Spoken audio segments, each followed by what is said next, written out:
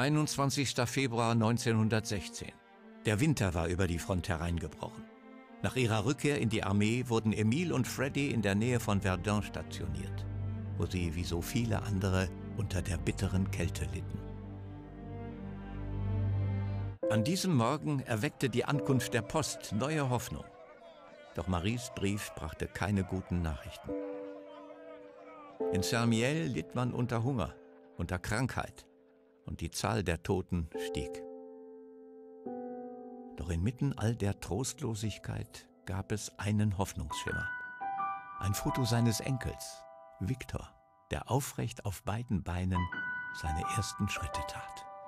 Bravo. Ui.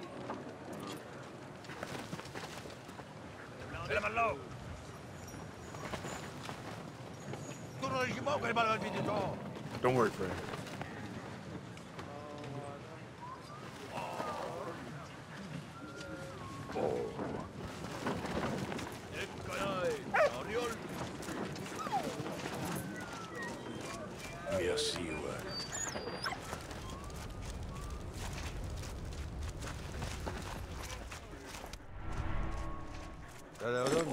Fatwall.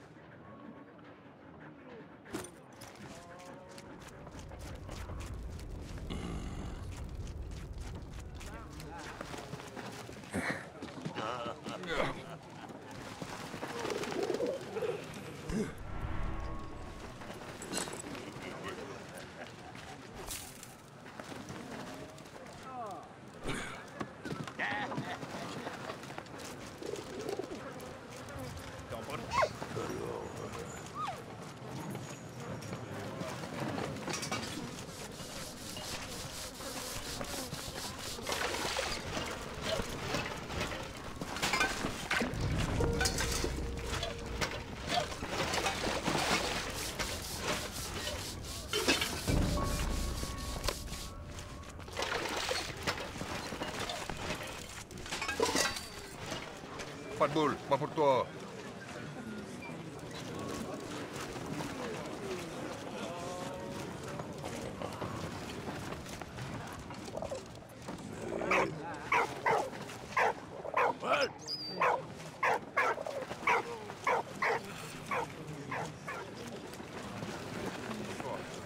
Pas de brignol pour toi, le bigonneau.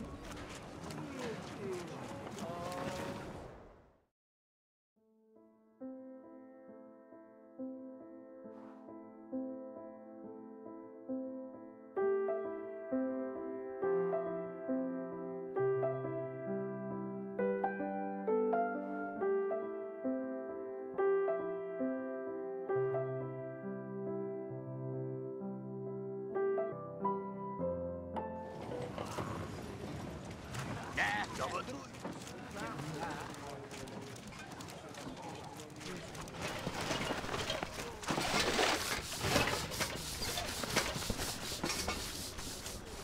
what?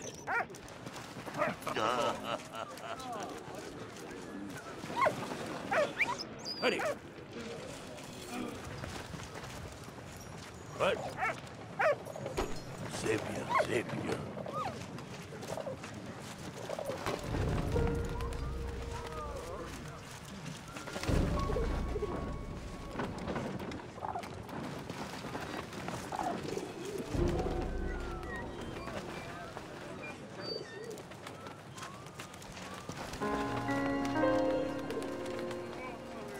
Meine geliebte Tochter.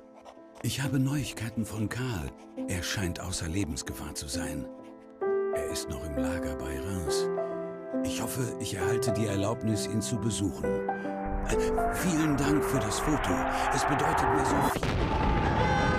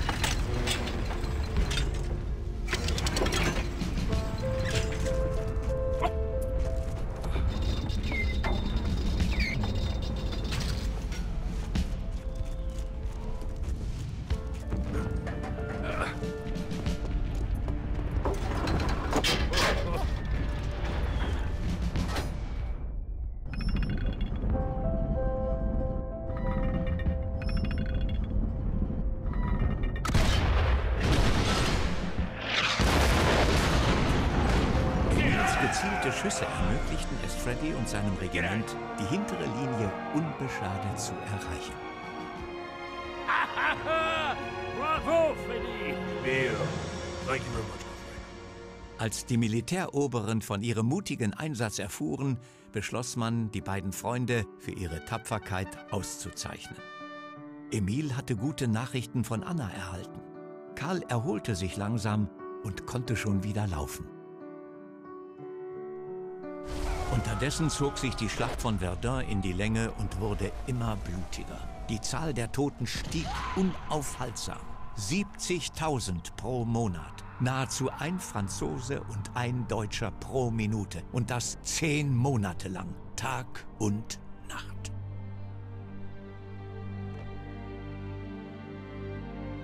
»8. Mai 1916.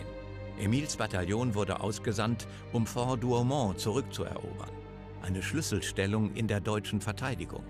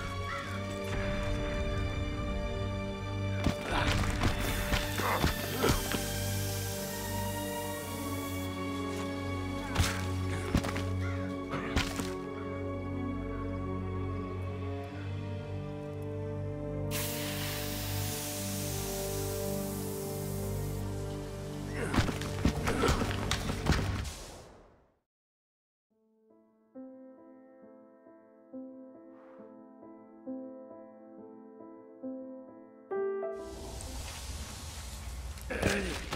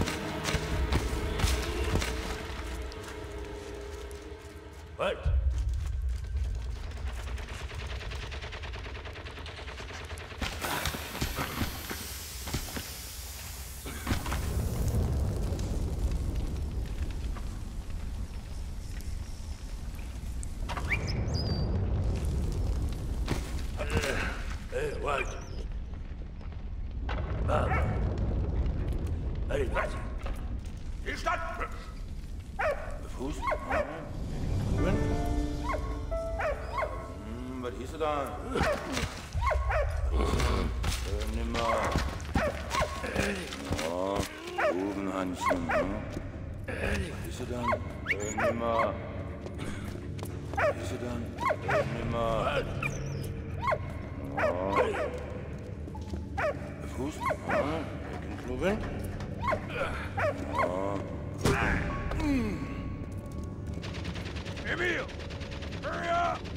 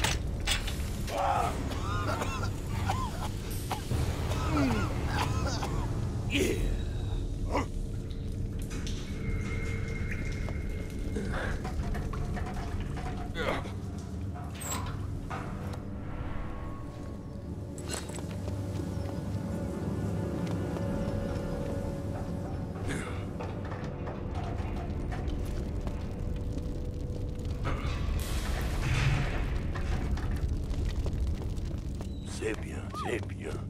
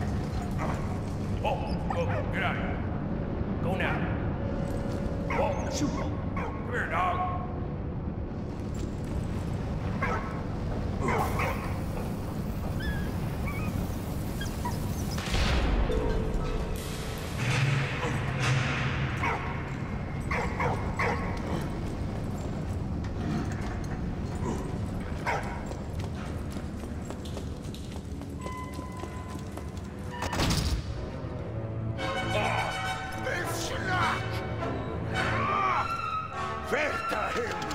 Kill!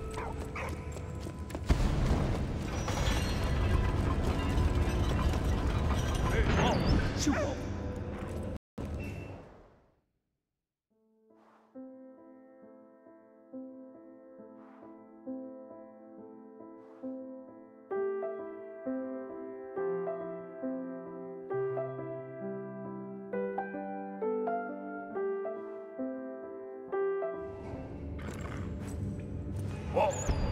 Shoot.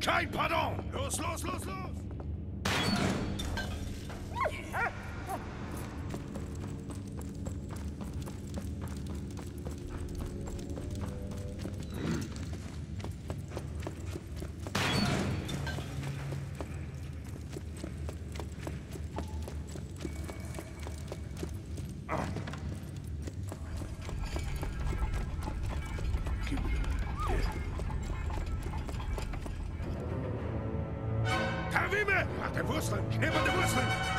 Schwung auf den Tag!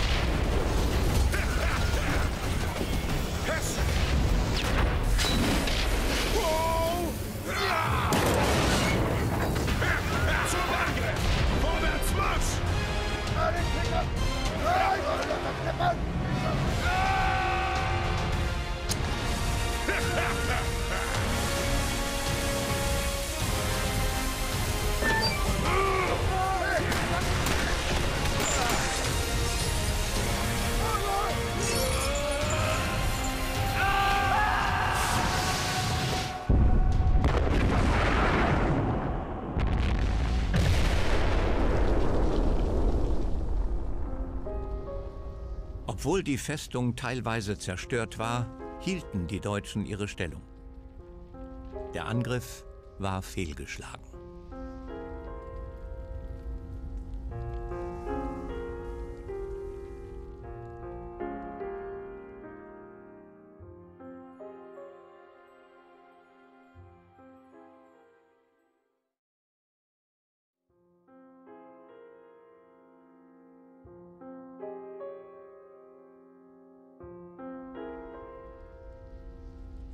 Meine liebe Tochter, der Krieg hat mir einen teuren Freund genommen und sein Verlust trifft mich härter, als ich es mir jemals hätte vorstellen können.